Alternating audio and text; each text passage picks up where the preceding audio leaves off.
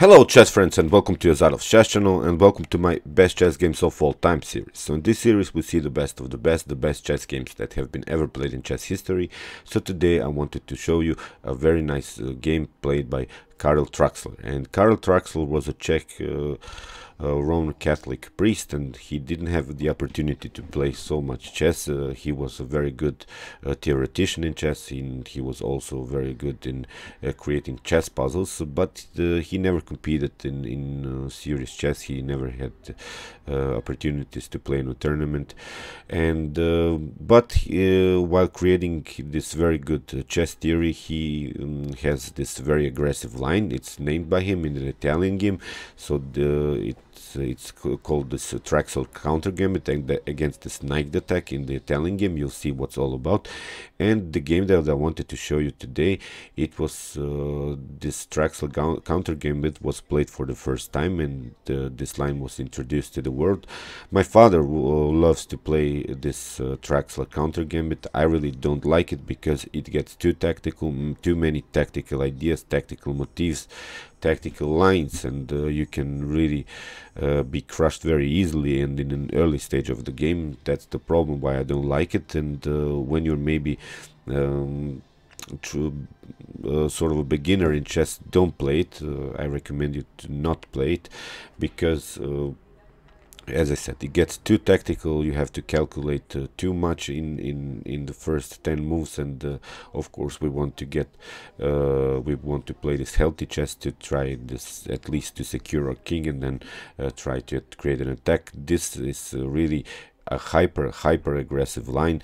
And let's see now this, this Traxler counter game. So here, e5 uh, e4 pardon me uh, e5 uh, is the response against uh, e4 so we have knight on f3 knight on c6 and now bishop on c4 so the most common move uh, is of course bishop on c5 which can lead maybe to this Evans gambit and similar ideas so we can have a, a, a normal Italian game. But now knight on f6 uh, played here by Traxler so here knight on uh, g5 attacking this f7 and uh, the again uh, the best move is here to play uh, immediately d5 but Traxler uh, in his uh, in his theory um, in his theory investigation sort of he tried to find uh, uh, tried to find the better better lines. And uh, although this d5 as I said is the best move when this happens to you play please the move d5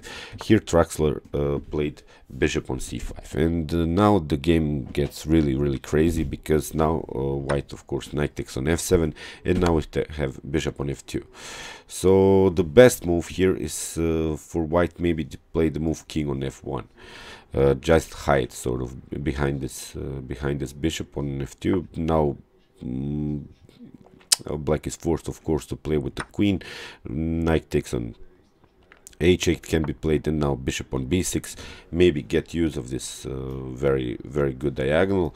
But uh, here after knight on c3 maybe d6 uh, because uh, queen on c5 uh, can be met with uh, queen on e1 so here d6 maybe bishop on f7 king on d8 can be played knight on d5 here king queen on f8 so you see Uh, maybe black has now a more secured king because uh, uh, because his king is out of uh, this open files and open diagonals.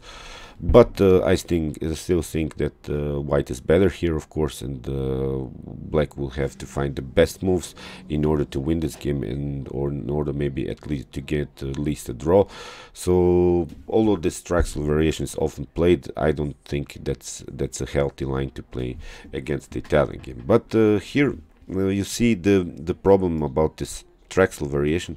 So when my uh, uh, Traxler's opponent played here the move king on e2 and believe me or not uh, it's already basically a losing game for white because he should have played king on f1 now we have knight on e4 so if uh, white takes here now uh, the bishop on f2 then you have knight on e4 king on g1 and now queen on h4 with immediate checkmate threat so it can be maybe uh, defended here with queen on queen on f1 now we have rook on f8 uh, creating this very very annoying pin uh, on the queen. So here knight to c3 now we have d5 can be played really aggressive. You see this is a hyper aggressive line. This Traxler uh, counter gambit. Bishop takes on d5 now we have maybe knight on g5 uh, maybe knight on b5 can now be played. Now we have knight takes on b5 queen takes and now uh,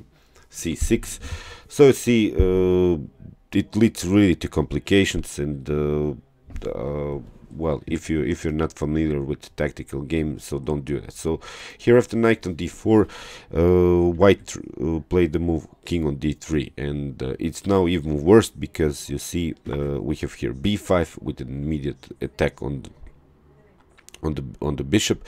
So uh, here bishop on b3 was played and now knight takes on e4 so if uh, white takes here the knight on e4 then we have d5 uh, here after king on d3 again we have bishop on uh, f5 so the king has to go here on uh, c3 now we can play knight on uh, east e2 so queen takes on e2 and now bishop on d4 you see uh, king on uh, b4 now we have a5 the king has to take and now we have bishop on d7 with the checkmate. So again you see how dangerous this to counter attack by Traxler was because White made only this uh, this um, this mistake to play the king on e2 so here after knight on e4 uh, well white took the the queen on d8 and now we have again a very very nice checkmate. So here uh, knight on c5 white has only one square for the king he has to move the king on c3 so we, we have here now knight on e2 attack again with a check. Queen takes on e2 and now uh, bishop on d4 again uh, white has only one square for the king uh, king on b4 now we have a5 uh, now we have uh, b5 uh, bishop on a6 with a check. Again white has only one square. He has to take the pawn on a5 now we have bishop on e6 e3 uh, with the discover check. So you see Traxler didn't even take the queen. And uh, here king on b4 had to be played again uh, only one square for the king.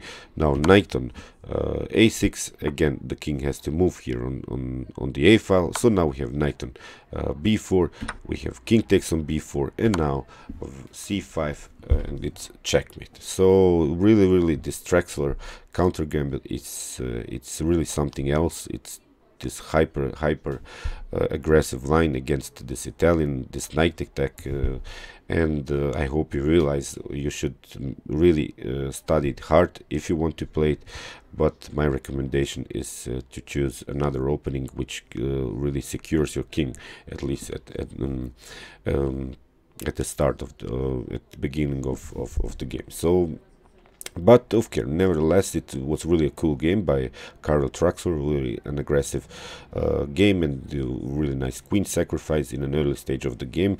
And you see this very nice checkmate with his two bishops, the pawn and the rook. So I hope you enjoyed this video. And uh, meanwhile, you can also watch my other ch best chess games of all times. And you can also watch my chess tactics and chess puzzle series. If you want to have a better understanding about tactical playing chess, you will see there uh, all of the possible tactics tactical motifs that can happen in a chess game. And you can also subscribe to my channel. Thanks you for watching and chess is the best of course.